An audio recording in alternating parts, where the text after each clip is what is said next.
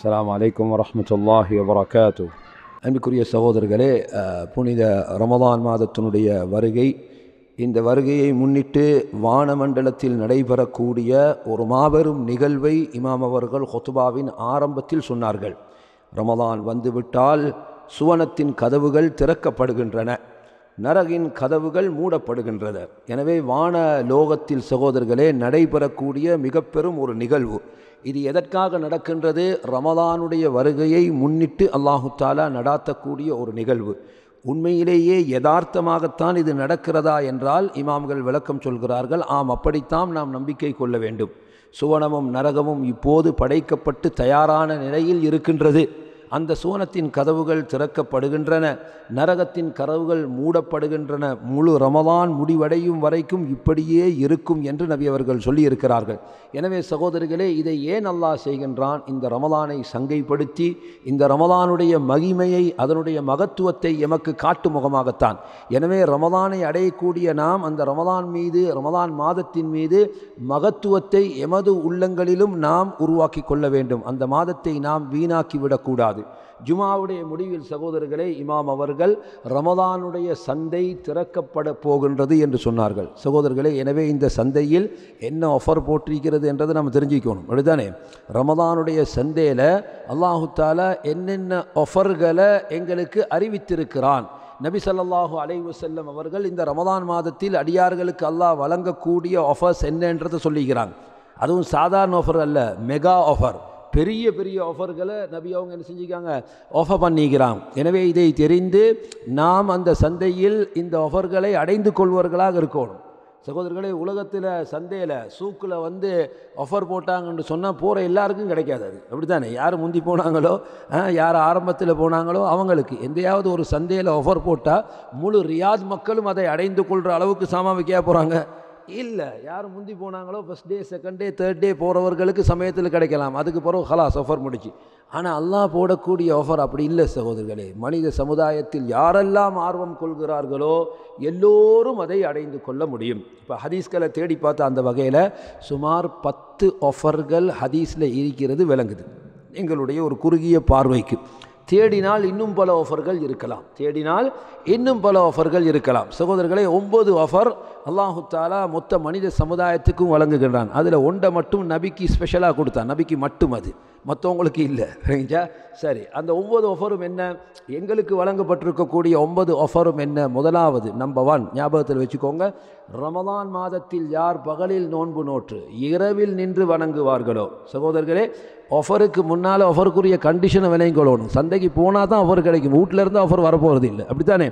அப்போ ரமதான் மாதத்தில் யாருக்கு இந்த பாக்கியம் கிடைக்க போகுது? நபி அவங்க சொல்கிறாங்க மன்சாம ரமதான். யார் ரமதானுடைய மாதத்தில் நோன்பு பிடிப்பாரோ? ஒமன் காம ரமதான். யார் ரமதானுடைய இரா காலங்களில் நின்று வணங்குவாரோ? அப்போ பகலில் நோன்பு பிடிக்கணும் இரவேல நின்று வணங்கணும். விளங்கிச்சா? இந்த ரெண்டு இபாதத்தையும் யார் செய்கின்றார்களோ? ஓஃபிர் அலஹூமா தகத்தமின் தம்பிஹி. அவருடைய முன் சென்ற பாவங்கள் எல்லாம் மன்னிக்கப்படும்.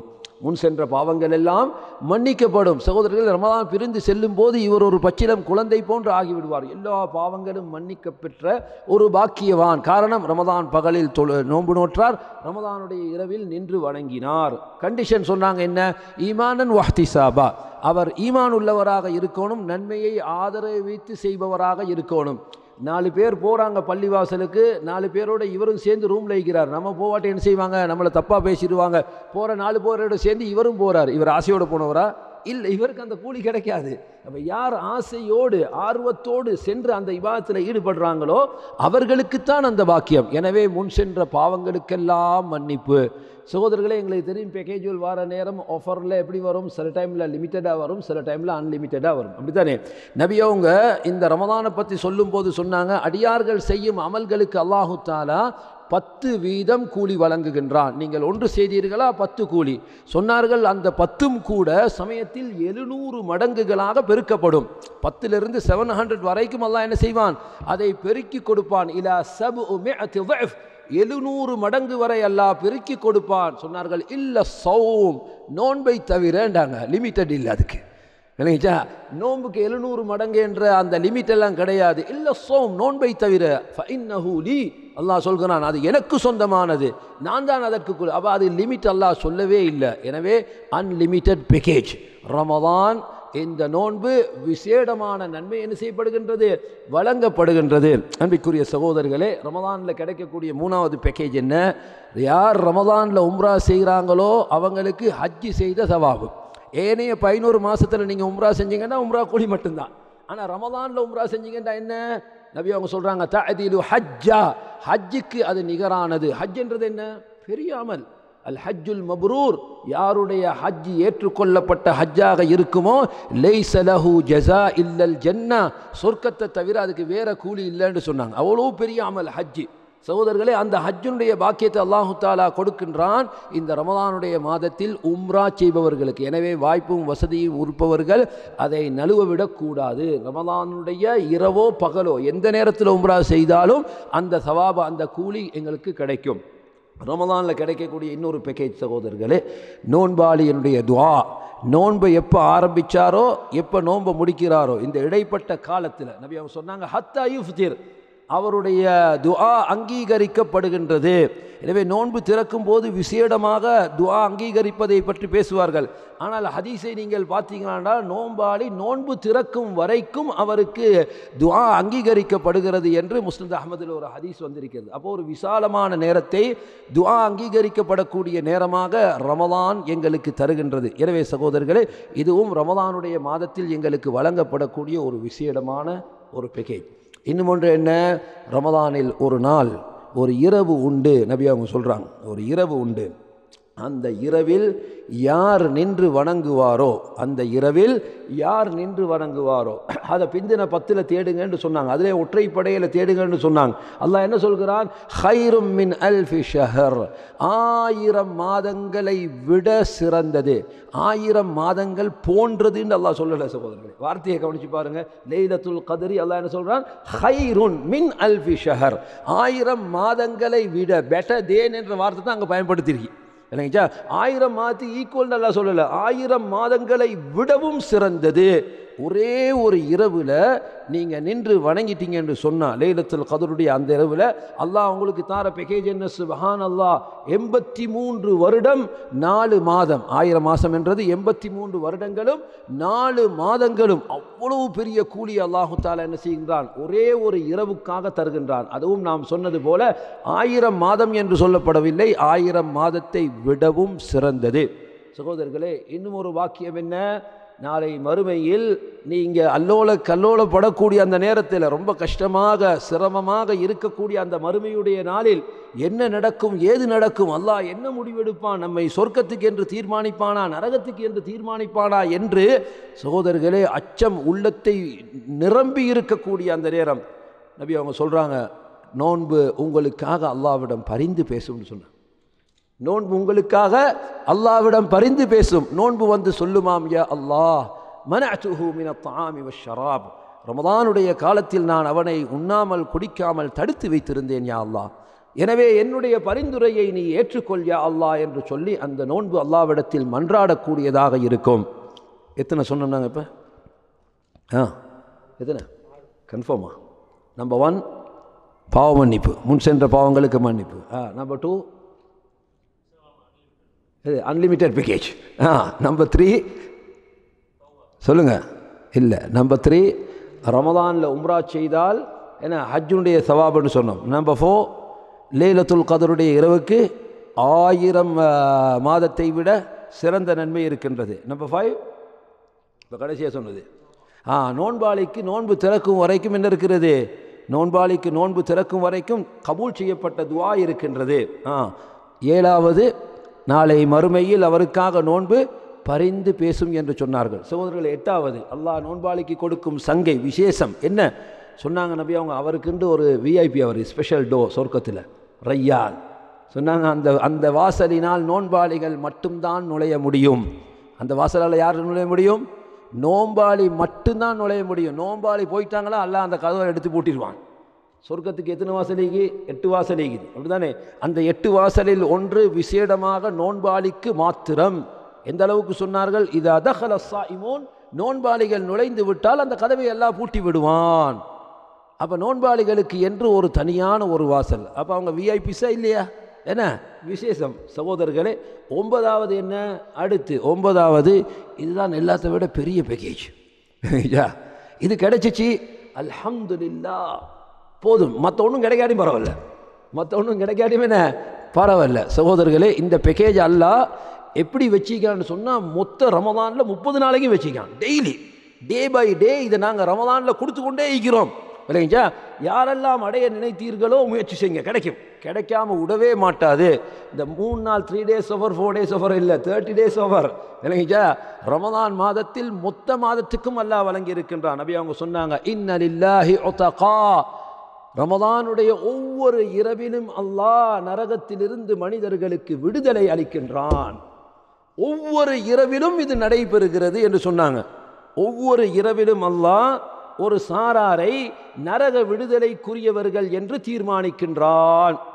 சகோதரர்களே அல்லாஹ் நரக விடுதலை அளிக்கிறான் அர்த்தம் என்ன? நீங்கள் துனியாவில் இருக்கிறீங்க. நீங்கள் இருக்கிறது துனியாவில் ஆனால் அங்கே தீர்மானம் நடக்கிறது இவர் ஹலாஸ் நரகத்திலிருந்து பாதுகாக்கப்பட்டு விட்டார். இப்போ சொர்க்கத்தில் நீங்கள் நுழைவீங்க என்றதை துனியாவில் நடமாடிக்கொண்டு இருக்கும்போது தான் நபி அவங்க அபுபக்கர் சித்திக்கு அவங்கள பார்த்து சொன்னாங்க. சொன்னாங்க அபுபக்கர் ஃபில் ஜென்னா உமர் ஃபில் ஜென்னா உஸ்மான் ஃபில் ஜென்னா. அவங்க ஈக்கிறாங்க உலகத்தில். நடமாடிக்கொண்டிருக்கிறார்கள் ஹயாத்தோடு இருக்கிறார்கள். சகோதரர்களே பதிலில் கலந்து கொண்ட சஹாபாக்களை பற்றி அல்லாஹ் சொல்கிறான். நபி அவங்க சொல்கிறாங்க "இஅமலு மா ஷேத்தும் ஒகது கஃபர் துலக்கும் இந்த பதிலுக்கு பிறகு நீங்கள் விரும்பினத்தை செய்யுங்க நான் உங்களை மன்னித்து விட்டேன் என்று அல்லாஹ் சொல்லிவிட்டான்னு சொன்னான். அப்போ அதை பயன்படுத்தி அவங்க தீமையை செய்கிறதுக்கு முற்படலை. அப்போ அல்லாஹ் உலகத்தில் இருக்கும்போதே இவர்கள் சுவனவாசிகள் என்று தீர்மானித்து விட்டான். இப்போ நாங்கள் உலகத்தில் நடமாடிக்கொண்டிருக்கிறோம் அல்லாஹ் ரமதானுடைய ஒவ்வொரு இரவிலும் தீர்மானிக்கின்றான். இன்ன இன்னவர்கள் எல்லாம் நரக விடுதலை பெற்றவர்கள். தீர்மானம் ஆயிடுச்சுன்னு சொன்னா சகோதரர்களே அப்போ என்ன அர்த்தம்? நரக விடுதலை கிடைச்சால் அடுத்து அடுத்தது என்ன? ஆ? அல்லாஹ் உலகத்தில் நபி இருக்கும்போது சஹாபாக்களுக்கு கொடுத்தான். இவர் சொர்க்கவாசின்னு டிரெக்டாக பேரை சொல்லி சொல்ல வச்சார். ஆனால் எங்களுக்கு பேர் சொல்லப்படலை. ஆனால் அங்கே தீர்மானிக்கப்படுகின்றது. இவர் நரக விடுதலை பெற்றவர். அப்போ ரமதானுடைய ஒவ்வொரு நாளும் இந்த பேக்கேஜ் வழங்கப்பட்டு கொண்டிருக்கிறது. அப்படின்னா ஒவ்வொரு நாளைக்கும் என்ன செய்யணும்? அல்லாஹும் காபனா மினன்னார் யா நரகத்திலிருந்து எங்களுக்கு விடுதலை அலி யா யாழ்லா எமது பெற்றோர்களுக்கு விடுதலை அலி எமது பிள்ளைகளுக்கு விடுதலை அலி எமது உறவினர்களுக்கு விடுதலை அலி என்று சொல்லி சகோதரர்களே ஏன் நாம் கேட்கக்கூடாது? துவாவை பிரித்து வைத்திருக்கிறார்கள். நரக விடுதலை என்பது பிந்தின பத்துக்குன்னு சொந்தமாக்கி வச்சேன் இப்போ எங்களுக்கு நாட்டில் சொல்லுவாங்க முந்தின பத்து ரஹமத்துக்கு ரெண்டாவது பத்து என்ன? மக்ஃபரத்துக்கு மூணாவது பத்து எத்கு நரக விடுதலைக்குரியது. இல்லை இந்த மூணுமே மொத்த ரமதானுக்குரியது. இந்த மூணுமே என்ன? முந்தின பத்தும் ரஹ்மத்து மக்ஃபுரத்து எத்கு தான். நடுப்பத்தும் ரஹ்மத்து மக்ஃபரத்து எத்துக்கு தான் மூணாவது பத்தும் அதுக்குரியதான். எனவே முதல் பத்தில் தான் ரஹ்மத்தை கேட்கணும் ரெண்டாவது பத்தில் தான் மன்னிப்பு கேட்கணும் மூணாவது பத்தில் நரக விடு. அப்படி ஒரு சட்டம் எங்கேயும் ஹதீஸில் வரல. எனக்குச்சா வந்திருக்கக்கூடிய ஹதீஸ்கள் பலவீனமானதான். எனவே சகோதரர்களே ரமதானுடைய ஆரம்பத்திலிருந்து கடைசி வரைக்குமே நாம் அல்லாவிடத்தில் நரக விடுதலையை கேட்க வேண்டியதான். காரணம் நபி அவர்கள் சொல்கிறார்கள் ஒவ்வொரு இரவிலும் அல்லாஹ் அடியார்களுக்கு நரக விடுதலை அளிக்கின்றான் என்று சொன்னார்கள். கிடைச்சிட்டா? அல்ஹம்துலில்லாஹ் அல்லாஹ் குர்ஆன்ல சொல்றான் ஃபமன் ஸுஹ்ஸிஹ அனின்னார். யார் நரகத்தை விட்டும் தூரமாக்கப்படு பட்டாரோ வஉத்கிலல் ஜன்னா. சுவனத்தில் நுழைவிக்கப்பட்டாரோ ஃபகது ஃபாஸ். அவர் தான் வெற்றி அடைஞ்சவர். அப்போ நீங்கள் சொர்க்கத்தில் நுழைஞ்சிட்டீங்கண்டா நரகத்திலிருந்து தூரமாக்கப்பட்டுட்டீங்கன்னு சொன்னால் ஃபகது ஃபாஸ். அவர் வெற்றி அடைந்து விட்டார் என்று அல்லாஹ் சொல்கின்றான். எனவே ஒமல் ஹயா துத்துன்யா இல்ல மதா உல் குரூர். இந்த உலகம் என்பது ஏமாற்றும் பேர்வழி.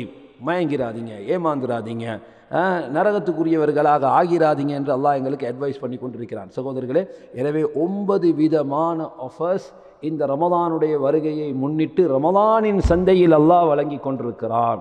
எனவே இந்த ஒன்பதையும் அடைபவர்களாக நாங்கள் இருக்கிறோம் ஏதாவது ஒன்று கிடைச்சா போதும்னு நினைக்குவானோ? ஒன்பதையும் அடைபவர்களாக இருக்க வேண்டும். கடைசியாக நபியவர்களுக்கு மாத்திரம் என்று அல்லாஹ் கொடுத்த ஆஃபர் என்ன? நபி அவர்களுக்கு மாத்திரம் ஒரு ஆஃபரை கொடுத்திருந்தான். அவங்களோட வஃபாத்தோடு அது முடிச்சு. ஒவ்வொரு இரவிலும் ஜிப்ரீல் அலைஹிஸ்ஸலாம் வந்து நபி அவர்களை சந்திப்பார்களாம் ரமதானில். ஏனைய காலங்களில் அது கிடையாது. ரமதான் வந்துவிட்டால் ஒவ்வொரு இரவிலும் ஜிப்ரீல் அலைஹிஸ்ஸலாம் அவர்கள் வந்து நபி அவர்களை சந்திப்பார்கள். குரான் அதுவரைக்கும் இறக்கப்பட்டதை நபி அவர்களோடு மீட்டல் நடக்கும். நபி அவங்க சொன்னாங்க ஹத்தாயன் சலிஹ் ரமதான் முடியும் வரைக்குமே ஜிப்ரீல் வருபவர்களாக இருந்தார்கள். எனவே நபி அவர்களுக்கு விசேடமாக ரமதானுடைய மாதத்தில் அல்லாஹு தாலா இந்த ச- பாக்கியத்தினை இந்த சிறப்பை ஜிப்ரி அலைசலாம் அவர்களை சந்திக்கும் இந்த வாய்ப்பை அல்லாஹு தாலா உருவாக்கி கொடுத்தான். எனவே சகோதரர்களே சொல்லப்பட்ட இந்த ஆஃபர்களை பயன்படுத்தி நாம் நன்மை அடைபவர்களாக எங்களை ஆக்கிக்கொள்ள வேண்டும். ரமதானுடைய மாதம் இபாதத்துக்குரிய மாதம். ரமதானின் விசேட இபாதத்து சகோதரர்களே குரான் ஓதுவதுதான். பகலில் நோன்பு நோட்பது இரவில் நின்று வணங்குவது இதை தாண்டி நாம் செய்ய வேண்டிய அதிகமான இபாதத்து என்றால் ரமதான் மாதத்தில் அதிகமாக குரானை ஓதுவது. குரான் ஓது தனியான ஒரு சிட்டிங் ரமதானுக்கு என்று நாம் ஆக்கிவிட வேண்டும். சகோதரர்களை முன்னோர்களுடைய வரலாறு எப்படி? இமாம் கத்தாதா அவர்களை பற்றி சொல்லப்பட்டிருக்கக்கூடிய செய்தி சாதாரண வாழ்க்கையிலேயே ஒவ்வொரு கிழமையும் ஒரு குரானை ஓதி முடிப்பார்களாம். ரமதான் வந்தால் மூன்று நாளைக்கு ஒருக்க ஒரு குரான் என்ன செய்வார்கள்? ஓதிக்கொள்வார். ரமதானுடைய பிந்திய பத்து விந்தால் டெய்லி ஒரு குரான் ஓதி முடிப்பார்களாம். நம்ம யோசிக்கலாம் இதெல்லாம் எப்படி சாத்தியம் என்று சொல்லி அவர்களுக்கு சாத்தியமாக இருந்தது. இந்த நன்மையில் அவ்வளவு ஆர்வம் கொண்டவர்களாக இருந்தார்கள். நன்மையில் அவ்வளவு ஆர்வம் கொண்டவர்களாக இருந்தார்கள். முடியுமா முடியாதா என்றால் சகோதரர்களே யாருக்கு அல்லாஹ் அந்த பாக்கியத்தை கொடுக்க நினைத்தானோ அவருக்கு அது முடியும். யார் குரானில் எக்ஸ்பர்ட்டாக ஆகிறாங்களோ யார் குரானை திறமையாக வேகமாக ஓத தெரிந்தவர்களாக இருக்கிறார்களோ நிச்சயமாக அவர்களுக்கு அது முடியாத காரியம் அல்ல. எனவே ரமதானில் அவர்கள் குரானுக்கென்றே என்றே தங்களை ஒதுக்கினார்கள். எனவே ஒதுக்கிய காரணத்தினால் அவர்களுக்கு அது சாத்தியமானது. எனவே அந்த அளவுக்கு பெருசாக எங்களால் செய்ய முடியாட்டியும் சகோதரர்களே. ஏனைய காலத்தில் குரான் ஓதக்கூடிய அதே லிமிட் ரமதானில் இருக்கக்கூடாது. அப்படின்னா நாங்கள் ரமதானை விசேடப்படுத்தலன்னு அர்த்தமாக போயிடும் ஏனைய காலத்தில் நீங்கள் குரான் ஒன்று ஓதி முடிப்பீங்களா இருந்தால் ரமதானுடைய மாதத்தில் ரெண்டு மூணாவது என்ன செய்யணும்? ஓதி முடிக்கக்கூடிய ஒரு பக்குவத்தை பாக்கியத்தை நாங்கள் உருவாக்கி கொள்ள பார்க்கணும். முயற்சி செய்தால் கண்டிப்பாக முடியும். முடியாத ஒரு காரியம் அல்ல. எனவே அல்லாஹு தாலா இந்த ரமதானை பயன்படுத்தி பாக்கியம் பெற்ற மக்களாக எங்கள் எல்லோரையும் ஆக்கி அருள் புரிவானாக. வாஹிருதானா அனில் அல்ஹம்துலில்லாஹி ரபில் ஆலமீன்.